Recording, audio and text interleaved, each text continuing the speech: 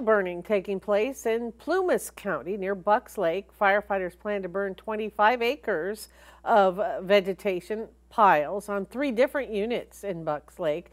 Uh, this is along Big Creek, Haskins, and Quarry Roads. The burning expected to start this morning with the forecast of rain maybe playing a role in that.